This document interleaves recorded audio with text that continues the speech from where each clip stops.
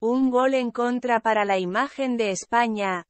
Hace una semana, la selección española femenina de fútbol alcanzó una hazaña histórica al coronarse campeona del mundo tras vencer a Inglaterra por 1 a 0.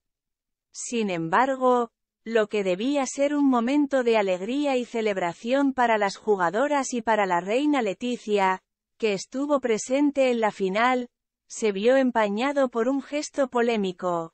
El beso no consentido de Luis Rubiales, presidente de la RFEF, a la futbolista Jennifer Hermoso. Este polémico gesto provocó un fuerte revuelo en las redes sociales y desató una controversia en torno a Luis Rubiales, acusado de machismo y abuso hacia Hermoso.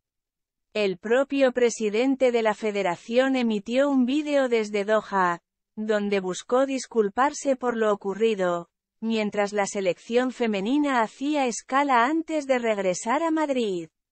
Pero la mancha no se borra tan fácil y la reina Leticia lo sabe mejor que nadie. Es que la reina consorte siempre intentó mantener bien protegida la imagen de su reinado como así también la de su país. Desde que ingresó a la vida real, la reina Leticia ha tenido varias críticas que hasta vinieron desde dentro del círculo privado de Zarzuela y es por eso que ahora entiende que la situación de Luis Rubiales no es nada buena y menos luego de haber estado a su lado. La euforia de Luis Rubiales no se limitó al beso, ya que compartió su entusiasmo en el vestuario, informando a las jugadoras sobre un viaje a Ibiza y la asistencia a una boda con Jenny Hermoso.